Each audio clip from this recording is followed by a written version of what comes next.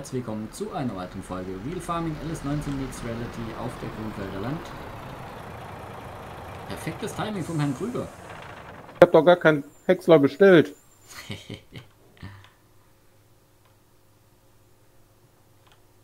Der sieht ja schick aus, ne? Mann, Mann, Mann. Aber das Wenn wäre ich für so euch doch auch mal was, stehen oder? habe, dann habe ich es geschafft. Hä? Wenn wir den auf dem Hof stehen haben, dann haben wir es geschafft. Ich, Guten die... Abend. Servus. Herr Krüger, Ja, schauen Sie, ich habe dir was Schönes mitgebracht. ich dachte, das wäre mein Weihnachtsgeschenk. Nee, nee. Verspätetes. Oster Osterei. Ja, oder so. schick, schick. Ist schick, äh, freut mich, äh, Herr Krüger. Und Sie haben einen, Herr Blaubeer. Können Sie bei mir mieten? Ja, aber wir haben ja noch nichts zum Häckseln. Wenn es denn soweit ist. Ja, aber der Drescher steht ja hinten in der Garage. Ja, aber Drescher ist kein Häcksler. Ja. Ja, eben. Ich meine, ich weiß ja nicht, wie macht denn ihr Silage oder so? Ähm, die lassen wir beim Fermenter laufen. Ah, okay. Da müsst ihr nichts zahlen. Auch da haben wir ein Abkommen mit dem Neumann. Hm. Aber wir füttern den auch und dafür kriegen wir dann die Silage etwas günstiger. Und da Okay. wir so viel Ja. Gras runterholen und alles. Mais haben Sie keinen anbauen? Bitte? Mais bauen Sie keinen an? Nee. Ist ertragsreich, oder? Eigentlich. Ich ja. Man richtig düngt und so weiter, ja. Ja. Ich bin Bleibt mal am mal Testen, wie das Zukunft. Elefantengras abschneidet. Also bin ich mal wirklich gespannt. Ich habe gehört, das soll auch sehr ertragsreich sein. Ja, Weil Elefantengras ist ja auch sehr ertragsreich. ich habe hab noch nie, ich habe schon rumgefragt, aber es hat noch nie einer wirklich selber gemacht. Ja, hier in der Gemeinde habe ich es auch noch nicht gemacht, aber in der Gemeinde, wo ich zuvor war, da haben wir es gemacht. Okay. Ja, ich bin mal gespannt. Auf der 107 habe ich ja auf dem Pachtfeld das Elefantengras drauf. Mal gucken, was dabei rumkommt. Ja, okay. Äh, Aber lohnt sich das noch, Volker, Felder zu pachten? Kommt man da noch mit gutem Gewinn voran? also ich habe für die zwei Felder, ich glaube, 50.000 gezahlt an Pacht. Okay. Und zwei Ernten darfst du runterholen, ne? Genau. Okay, dann kommt man da ja noch gut weg. Ja, Vielleicht muss ich das auch mal nachdem. überlegen. Es ist halt ein Zeitaufwand, ne? Ja, ja, klar. Aber Gewinn macht man auf jeden Fall, je nachdem, was man drauf macht. Ja. Deshalb, Hatte ich will jetzt das. Elefantengras nehmen und dann mein, meine als Brennstoff benutzen. Und hoffe, dass das äh, hinhaut. Ja. Aber äh, du hattest nach einem Kaffee gefragt. Ja, ich gehe heute. Herr Krüger, auch einen Kaffee. Ja, gerne. Schwarz, mit Milch und Zucker? Nur Milch, nur Äh, Zucker? Schwarz und drei Süßstoff, wenn Sie haben. Ja, und das sonst drei. Zucker. Alles klar. Ich komme sofort wieder. Jo, Ja. gleiches für mich bitte. Jo. Ah. Also, ich habe mit Björn jetzt schon mal gesprochen. Ja. Und, was meint er? Ja, der findet es auch ein bisschen komisch. Was da so passiert. Hat er auch gefragt, ob du vielleicht Zeit hättest für so ein Bürgermeisteramt. Hm, Also mit meinem Blaubeer hat die noch überhaupt keinen Kontakt groß. Nee, er hatte mit mir. Ach so, okay. Er hat von Hören sagen kennt er sie wahrscheinlich. Wahrscheinlich, ja. Er hat auch gemeint, äh, sie wären ein bisschen erfahrener durch ihre Lebensart. Ja. So, Volker. Ah. Einmal für dich. Wo? Äh, hier. Hier, Ah, danke. Dankeschön. Krüger, bitteschön. So, Ah, ah. Vorsicht heiß.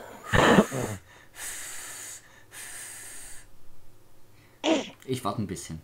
Kalter Kaffee Okay. macht schön, äh, sage ich. immer. Ah, okay. Muss ich mir mal merken. Ja, ja. Es hilft noch nicht, wenn du mich anguckst. Deswegen trinke ich einen Schö Schwarz, aber passt auch nicht, ne? Ja. Äh. So, Ja, was hattest du jetzt gemeint, Björn, zum Gemeinderat? ja, da muss was passieren. Auf jeden Fall. Ähm, er tut zu wenig und es kommt zu wenig. Meine Einstellung. Äh, sie tun viel Geld ausgeben. Ja, deswegen. Ja, ich habe es vorhin auch zum Volker schon gesagt. Ich bin der Meinung, es müsste aber ein Bürgermeister her. Noch ein stellvertretender Bürgermeister. Ist halt je Ja. nachdem zeitintensiv, ne? Wollte ich gerade sagen. Also wenn ich das mal hier sehe, unseren Hof mit Feldern und Produktion, also ich hätte nicht die Zeit, dieses Amt zu übernehmen.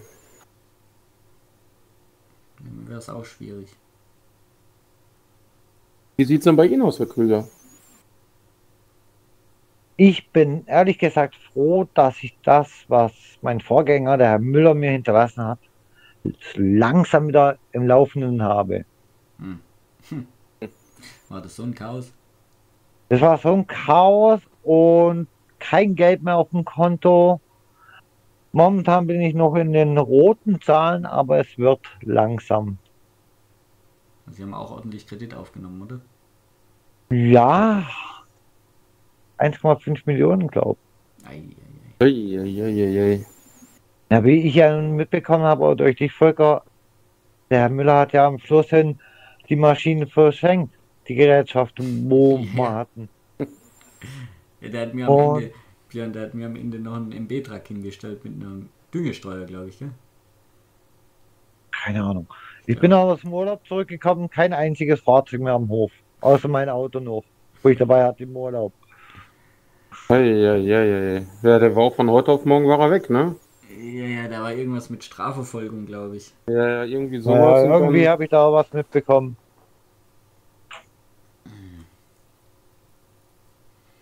Also ich weiß vom Stefan Müller, dass der auch nicht so gut auf den Gemeinderat zu sprechen ist. Das hieße bezüglich Amtsenthebung oder sowas in der Richtung, hätten wir wahrscheinlich genügend Stimmen beisammen. Bestimmt. Ja, da wären wir ja mindestens fünf Leute. Aber die nächste Sache ist, wer stellt sich neu auf für den Gemeinderat, Volker? Im Notfall würde ich es übergangsweise selber machen. Wir Okay. drei. Wir drei? Wir drei. Wir drei. Uiuiui. Wenn das einer mitkriegt, dann denkt jeder, das ist eine Verschwörung. Ja. Ah, Ja. jetzt ist der Kaffee gut. Und- Und als Bürgermeister am besten eine neutrale Person. Aber wer ist denn neutral? Äh, ich hätte da eventuell jemanden aus einer anderen Gemeinde mal fragen, ob der da Interesse hätte, Bürgermeister zu machen. Kennt man den? Ähm, nein. Hm. Noch nicht. Björn? Ja. Wäre eine Überlegung wert, bevor sie- sich hier gar nichts mehr tut. Ja. Ist zwar relativ jung, muss ich sagen, hat aber auch schon einige Erfahrungen. Wenn er sich mal vorstellt, kann man ja mal gucken. Ist doch bestimmt hin. Kann ja mal Ja. außerhalb telefonieren. Kann ich ja mal kurz übernehmen. Ja, wenn er heute schon telefonieren kann, wäre auch in Ordnung. Ja, kann ich mal kurz probieren. Moment. Jetzt haben wir ein Te mein Autotelefon. Mach mal in Ruhe, ja. Bin ich mal gespannt. Mhm. Aber wäre vielleicht eine Option. Ja. Ich meine, wenn, wenn er ihn kennt und der vertrauenswürdig ist, Ja. Und der Gemeinderat kriegt eine, Perso eine Person vor sich gesetzt, quasi. ja. Zumindest ein Controlling. Ja. Oder man lässt halt den Gemeinderat erstmal bestehen und äh, macht dann noch eine dritte Person dazu. Ja. So wie es eigentlich war, weil ich weiß auch, auch darum haben sie sich ja nicht gekümmert. Stimmt. Das ist alles liegen geblieben, ne? Ja. Schade eigentlich. Mann, Mann. Hm. Ah, da muss mal frischer Wind rein. da- Das geht so nicht. Ja. Sehr guter Kaffee. Freut mich. Ich telefoniere mal kurz. Ja, mach das. Klingelingeling. Stefan Müller hier. Jo, Volker hier, servus. Jo. Du, ich bin gerade am äh, Quatschen mit dem Neumann. Nee, die quatschen nicht mit dem Neumann. Mit dem Krüger und mit dem äh, Blaubeer, Björn. Ja. Bezüglich äh, Gemeinderat. Mhm. Ähm, wir sind der Meinung, dass wir eigentlich äh, noch einen Bürgermeister bräuchten, also der äh, dem Gemeinderat vorsteht. Ähm, Mhm. Da gäbe es vielleicht auch sogar schon einen Interessenten, jemand externes, der dann ein bisschen äh, neuen Wind reinbringt. Ja. Aber die Frage wäre, wie ihr, also du und dein Mitarbeiter eben dazu stehen, dass man da was in der Richtung probiert. Äh, natürlich, also Bürgermeister fällt ja eh schon länger hier in der Stadt. Äh, im, im Land. Ja, und der Gemeinderat ist auch nicht voll. Das sind ja nur zwei von drei Positionen besetzt. Ja. Aber so wie es allgemein ist, ich bin auf jeden Fall für keine Stelle verfügbar. Hm? Also zum Beispiel für irgendwas, ich krieg das nicht. Was nochmal? Ah, falls irgendwie äh, zu große Not ist und jemand auf mich zukommt, ich mache sowas auf jeden Fall nicht. Ach so, ja, ja. Nee, ich wollte nur wissen, deine Position in Anführungsstrichen gegen den aktuellen Gemeinderat. Äh, also ich wäre eigentlich dafür, Dafür was dagegen. Neues mal auszuprobieren. Okay. Und dein Mitarbeiter? Ich meine, der kennt die wahrscheinlich noch nicht so gut, aber. Ja, ich stelle mal auf Lautsprecher. Ja. Äh, hallo? Manuel? Was? Hallo, Volker hier, Servus. Ja, Oberhauser, ja. Ah, Oberhauser, ah ja. Äh, servus. Äh, ich wollte mal fragen, äh, wie es dir so geht in der Gemeinde. Gut. Gut, Mhm. freut mich. Ähm, den Gemeinderat hast du den schon kennengelernt? Nee. Okay, auch interessant. Werden hier neue Bürger nicht mehr begrüßt. Nee. Das war zu meiner Zeit noch anders. Ei, ei, ei. Okay. Keine Qualität mehr. Ähm, wir sind gerade dabei zu gucken, dass wir die Gemeinde wieder ein bisschen vorankriegen. Wir sind ein paar engagierte äh, Bewohner und äh, würden uns eventuell mal ins Gefecht mit dem Gemeinderat stürzen. Okay. Ich weiß halt nicht, wo- wenn sie den noch nicht so kennen, dann sind sie wahrscheinlich eher zurückhaltend, nehme ich an. Was soll ich dazu denn sagen? Ihre Meinung. Ja. Ja. Okay, ist nicht so aussagekräftig. Nee, ist auch kein Problem. Wenn sie, wenn sie die noch nicht kennen, dann können sie sich natürlich auch kein gutes Urteil erlauben. Das ist ja selbstverständlich. Wer ist es denn? Äh, der Herr Diesel ist aktuell Gemeinderat und der Herr Neumann. Ah, die. AI? Okay. Kennen Sie die doch? Ja, halt, ähm, von den Bauern her, Ah, okay. Ja, ja. dass die arbeiten, aber dass die im Gemeinderat sind, das wusste ich noch nicht. Mhm. Okay. Ja, interessant. Ähm, ja, vielleicht wird auch nach Ihrer Stimme gefragt, wenn es um eine Amtsenthebung oder sowas geht. Okay. Weil äh, jeder Bürger hat ein Stimmrecht. Mhm. Okay, gut, äh, passt erstmal. Jo, Ja, ähm, passt. Ja, brauchst du gerade noch irgendwas? Also wir stehen gerade als gespannt schon bei dir unten am Hof, weil eine Stunde, also die ja Nacht ich durch. Bin jetzt gerade noch mit dem Krüger und mit dem Björn am Schnacken und dann kommen wir runter. Jo, Also, dass wir rechtzeitig morgen früh anfangen. äh, welches Gespann soll noch? Du hast irgendwas gesagt von LKW mit. Äh, der Tatra und der, der Farmtech-Anhänger. Aber den Tatra habe ich gerade dabei. Achso, Mit dem komme ich dann wieder. jo. Gut. Äh, bedient euch, gell? Küche müsste offen sein. Ja, ja, alles gut. Gut, bis dann mal. Jo, ciao. Ciao. Uff, hat ein bisschen länger gedauert, ne? Oh, es geht. Ähm, ja, der Müller ist auch ein bisschen.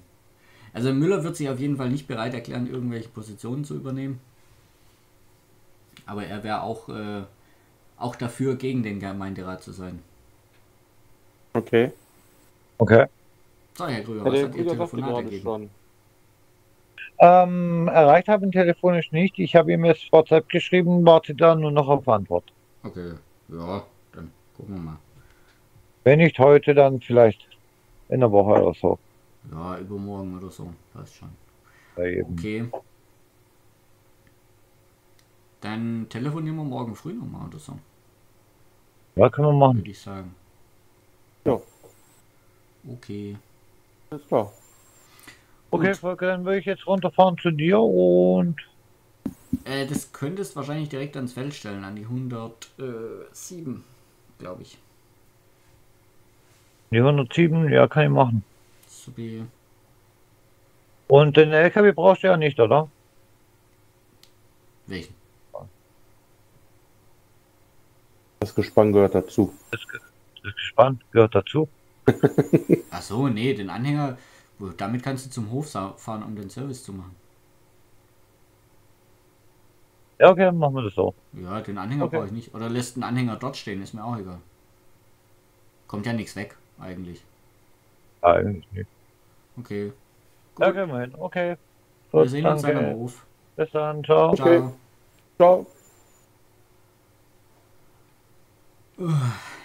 Schon wieder, wird schon wieder dunkel, ey. Schon wieder dunkel. Nichts geschafft Zeit, heute. die rennt. Hä? Zeit, die rennt. Ja. Äh, so, ich verabschiede mich aber auch erstmal. Björn. Jo, Volker, melde dich, wenn du was Neues hörst. Mach ich. Und dann können wir weiter schnackeln. Jawollo. Bis Alles dann. klar. Gute Bis Nacht dann, später. Jo, dir auch. Ciao. So, liebe Leute, auch an euch. Äh, vielen Dank fürs Zuschauen. Wenn es euch gefallen hat, lasst gerne ein Like, Abo und Kommentar da. Schaut morgen wieder rein bei der nächsten Folge. Wir fahren alles 19 Reality. Bis dahin, macht's gut. Tschüss.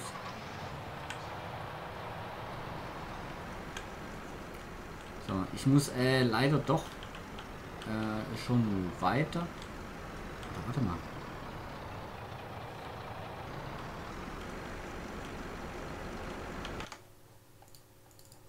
Klingelingeling. Björn Blauberg. Ja, du, äh, soll ich das Strom mal mitnehmen?